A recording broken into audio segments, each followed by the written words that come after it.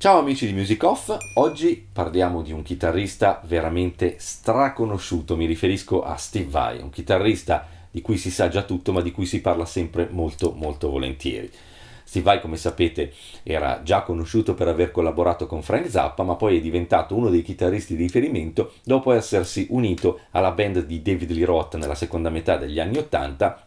successivamente agli Whitesnake e dopo aver appunto trascorso una carriera in cui è diventato un caposcuola per un sacco di chitarristi, per intere generazioni di chitarristi. Uh, io ho avuto la possibilità di lavorare con lui per la prima volta nel 1997 in occasione della prima edizione del Disma Show di Rimini. Uh, in quel caso Steve doveva semplicemente fare una sessione autografi, però c'era veramente tantissima attesa per il suo arrivo e infatti ricordo che nel momento in cui questa sessione autografi era iniziata, si era letteralmente svuotata tutta la fiera, compreso anche il personale degli altri stand, perché tutti volevano venire a vedere, a toccare con mano questo chitarrista, questo alieno della chitarra che così in pochi avevano la pos- avuto la possibilità di avvicinare eh, in maniera così concreta.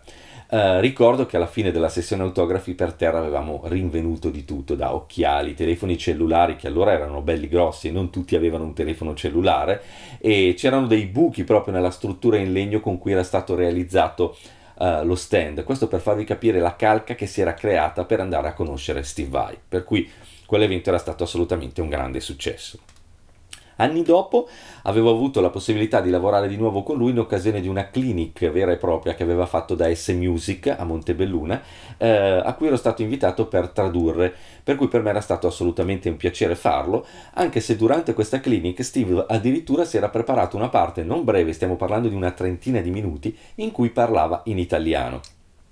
Era un discorso tutt'altro che semplice perché entrava anche nella sfera psicologica e umana del musicista, non solo in quella tecnica. Uh, e per fare ciò lui aveva addirittura ingaggiato un insegnante di italiano negli Stati Uniti e poi durante la clinica aveva il suo laptop e in cuffia sentiva una voce che eh, pronunciava le frasi che poi lui avrebbe dovuto ripetere per cercare di essere il più preciso possibile anche con la pronuncia, con gli accenti. Aveva fatto veramente un ottimo lavoro ed era stato molto molto apprezzato dai presenti. Durante quella clinic eh, aveva suonato non tantissimo, 4-5 pezzi, eh, con una strumentazione sicuramente limitata rispetto eh, a quella che usa quando è in tour, ma comunque aveva richiesto la sua chitarra signature, i suoi ampi signature e una serie di pedali che lui vuole sempre assolutamente alimentati a batteria perché dice che comunque anche l'alimentatore meglio isolato eh, introduce sempre comunque dei problemi di ronzii o di fasi che invece con le batterie sono uh, sempre assolutamente evitati per cui uno dei suoi must è proprio il fatto che tutti i pedali vengano alimentati a batteria Uh, devo dire, Steve Vai ha sempre dimostrato di essere un grande businessman uh, in tutte le attività um, che ha sempre fatto. Prima tra tutte la sua collaborazione con i Banez, perché non dimentichiamo che uh, quando nel 1986-87 uscì la prima Jam, fu una chitarra che cambiò completamente il modo di intendere la chitarra elettrica, nel senso che alcune caratteristiche che Steve Vai aveva inventato furono poi prese pari pari da un sacco di altri produttori per la realizzazione dei loro rispettivi modelli. Mi riferisco ad esempio alla configurazione di pickup humbucker single humbucker o alla cavità dietro al ponte tremolo che permette al tremolo appunto di raggiungere un'escursione indietro mai vista fino ad allora. Queste sono tutte caratteristiche introdotte da Steve Vai.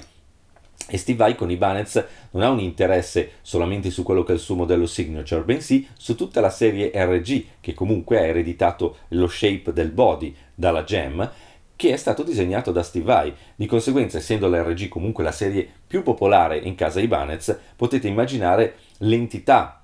di questo suo rapporto anche economico, una cosa che sicuramente ha fatto molto bene sia a Steve Vai sia a Ibanez stessa, assolutamente. Uh, successivamente ci eravamo incontrati all'Hard Rock Café di Venezia,